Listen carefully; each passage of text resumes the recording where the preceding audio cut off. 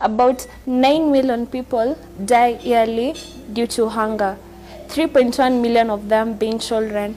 That means 24,000 people are dying daily and 1,000 people per hour. First, we are doing trial and error. We are trying to see what will work. So you end up using a lot of funds because you might try first, it doesn't work. It maybe you end up having glucose instead of having starch. You start again by now purchasing the enzymes again. Yeah, and also mentioning that also uh, shipping costs they are really high. Human beings can't digest grass because we don't have the enzyme cellulose, cellulase in our gastrointestinal tract.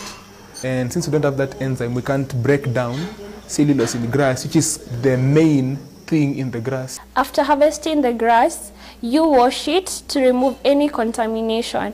After doing that, we dry it depending on what source you want to use. You might use the sun or even electric to dry it. After drying it is when we grind it into becoming a powder that we call cellulose powder. That cellulose powder is where now we add our enzymes which are, which are used to break down now the cellulose into becoming starch. We have the necessary temperature, necessary pressure, necessary conditions for the reaction to occur.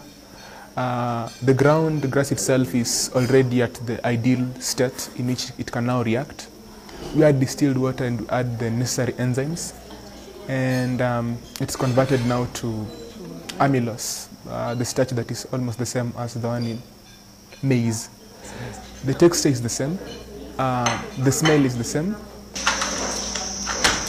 When I started doing this project, I had goals that I wanted to achieve at the end, of which I have been able to achieve, and I'm excited because I know with this product, you're going to save so many lives, and the deaths and the number of people who are going to bed hungry is going to reduce. For instance, the price of maize flour, which used to retail between 40 to 55 shillings per kilogram last year, this year it's going for about 90 to 120 Kenya shillings per kilogram. That is about over 110% increase.